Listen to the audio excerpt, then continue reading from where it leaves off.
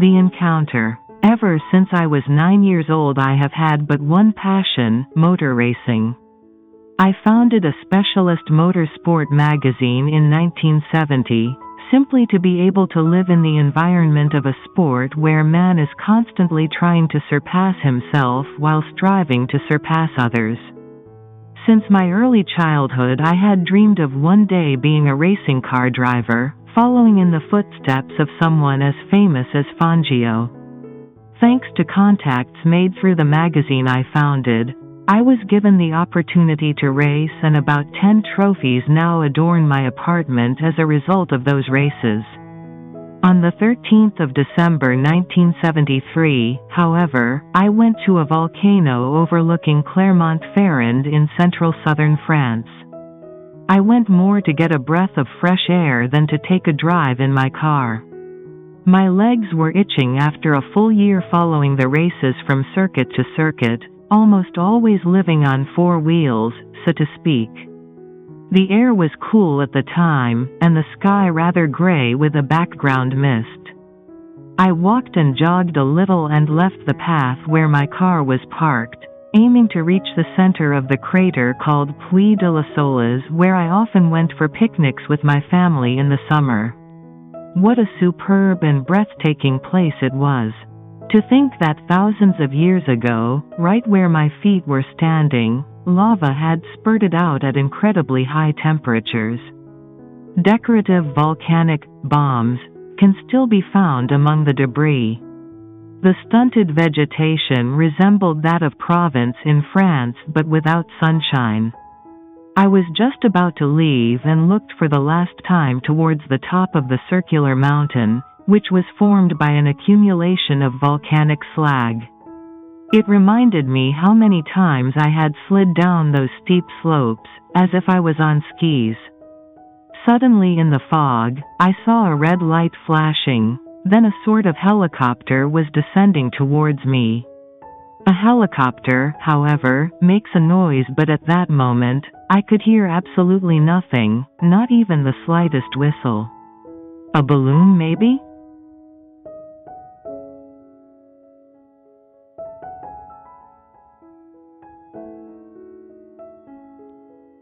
Site of Rael's first encounter, Puy de la Soles, near Clermont-Ferrand, December 13, 1973.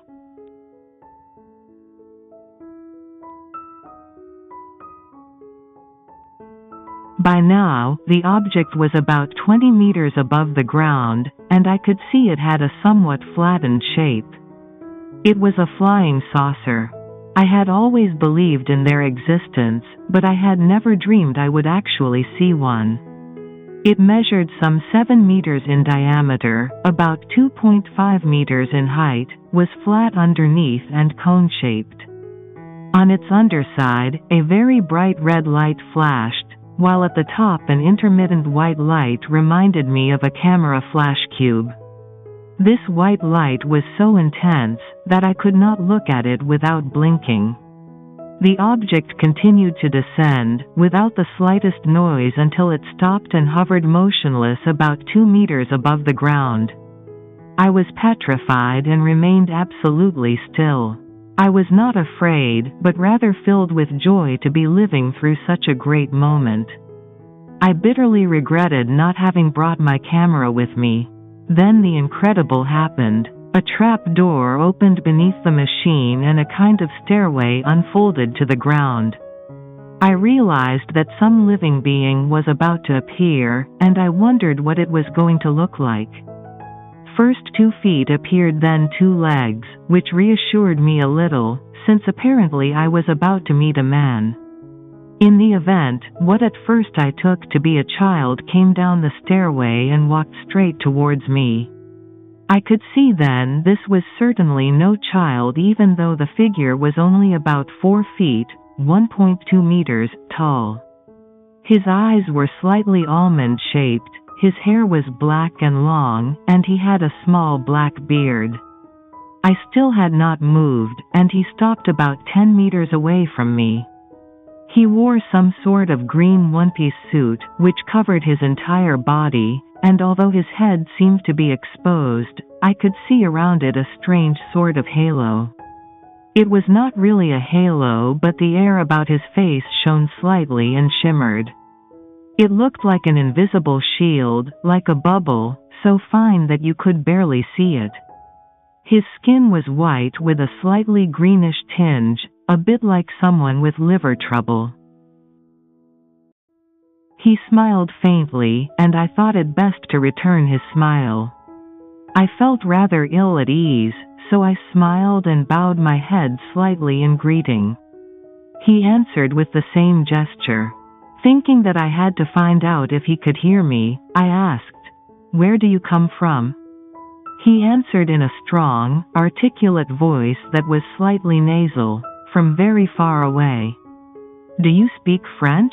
I inquired. I speak all the languages of the earth. Do you come from another planet? Yes, he replied. As he spoke, he moved closer and stopped about two meters from me. Is this the first time you have visited the earth? Oh no. Have you been here often? Very often, to say the least. Why did you come here? Today, to talk to you. To me? Yes, to you, Claude Vorilhon, editor of a small motorsport magazine, married and father of two children. How do you know all that? We have been watching you for a long time. Why me? This is precisely what I want to tell you. Why did you come here on this cold winter morning? I don't know. I felt like walking in the fresh air. Do you come here often? In the summer, yes, but almost never in this season. So why did you come today? Had you planned this walk for a long time? No, I don't really know. When I woke up this morning, I suddenly had an urge to come here. You came because I wanted to see you. Do you believe in telepathy? Yes, of course, it's something I've always been interested in, as well as the subject of flying saucers. But I never thought I'd see one myself. Well, I used telepathy to get you to come here because I have many things to tell you. Have you read the Bible? Yes, but why do you ask? Have you been reading it for a long time? No, as a matter of fact, I bought it only a few days ago. Why? I really don't know. Suddenly I had an urge to read it. Again I used telepathy to make you decide to buy it. I have chosen you for a very difficult mission, and I have many things to tell you. So come into my craft where we can talk more comfortably. I followed him, climbing up the small staircase beneath the machine, which, on closer inspection, looked more like a flattened bell with a full and bulging underside. Inside it, two seats faced one another, and the temperature was mild even though the door was still open. There was no lamp, but natural light emanated from everywhere. There were no instruments like those you find in an aircraft cockpit. The floor was made of a sparkling alloy, which was slightly bluish. The chairs were colorless and translucent, but very comfortable and made from one piece of material. I sat on the larger one that was set closer to the floor, so that the face of the little man sitting in front of me was at the same level as mine. He touched a spot on the wall, and the whole machine became transparent except for its top and bottom. It was like being in the open air, but the temperature was mild. He invited me to take off my coat, which I did, and then he started to speak. You regret not having brought your camera so that you could have talked about our meeting to the whole world, with proof in your hands? Yes, of course. Listen to me carefully. You will tell human beings about this meeting, but you will tell them the truth about what they are, and about what we are. Judging from their reactions, we will know if we can show ourselves freely and officially. Wait until you know everything before you start speaking publicly. Then you will be able to defend yourself properly against those people who will not believe you and you will be able to bring them incontestable proof. You will write down everything I tell you and publish the writings as a book. But why did you choose me? For many reasons. First of all, we needed someone in a country where new ideas are welcomed and where it is possible to talk about such ideas openly. Democracy was born in France, and this country has a reputation the world over for being the country of freedom. Also, we needed someone who is intelligent and quite open to everything. Above all, we needed someone who is a free thinker without being anti religious. Because you were born of a Jewish father and a Catholic mother, we consider you to be an ideal link between two very important peoples in the history of the world. Besides, your activities do not in any way predispose you to making incredible revelations, and this will make your words all the more credible. Since you are not a scientist, you will not complicate things and will explain them simply.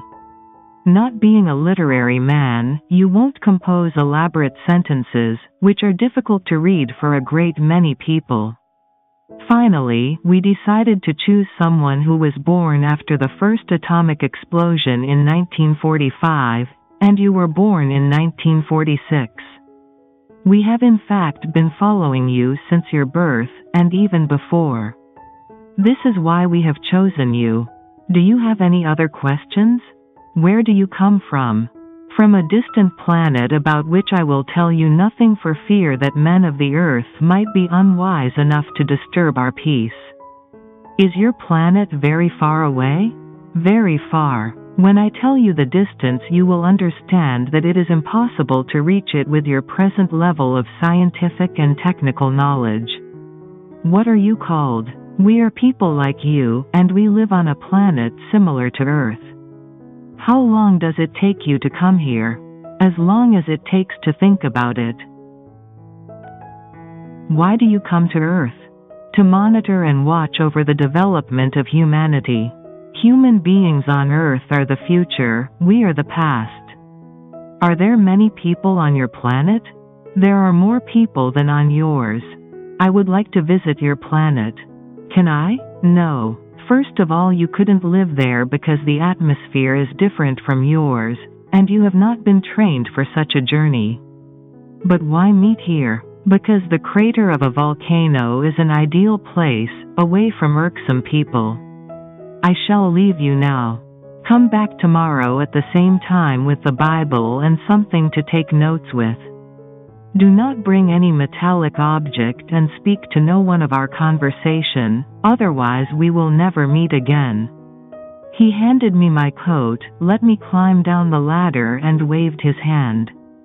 The ladder folded up and the door closed without a sound. Still without making the slightest murmur or any whistling sound, the craft rose gently to a height of about 400 meters, then disappeared into the mist.